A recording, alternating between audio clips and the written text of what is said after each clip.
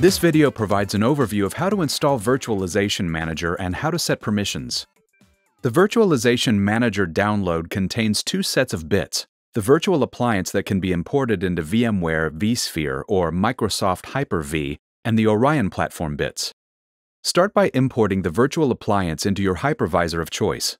In this example, we are importing it into VMware vSphere. When configuring the server, the best practice is to use DHCP to pull the initial IP address.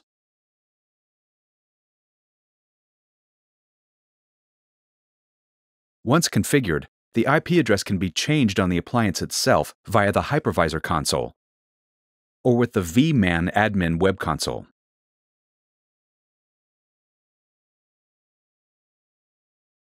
Now let's log into the appliance. The wizard will start automatically on first login. Enter your registration email address. Enter credentials to your vCenters, ESX host, or Hyper-V hosts.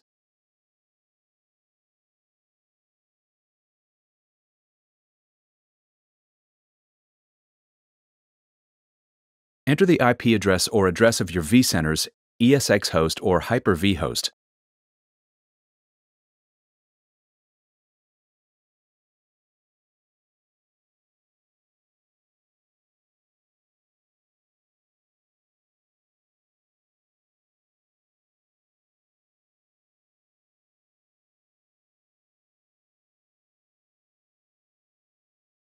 A quick discovery will run when adding Hyper-V hosts. Next, enable the job schedules.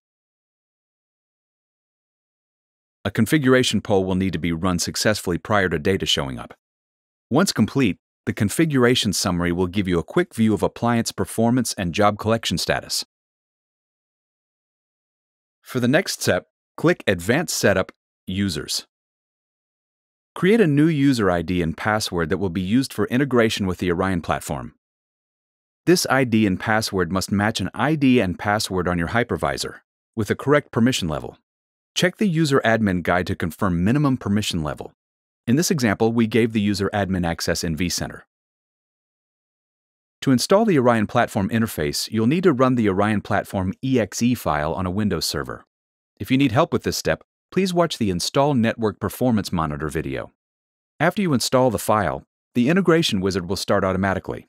Since we're skipping this step, we will launch the integration wizard directly by navigating to Settings, All Settings, Virtualization Settings, Set up Virtualization Manager Integration. Input the IP address or name of the Virtualization Manager appliance.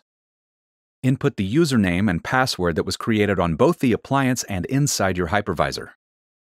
Test the connection. If you have a connection error, you should be able to resolve the issue by entering the IP address of your Orion server.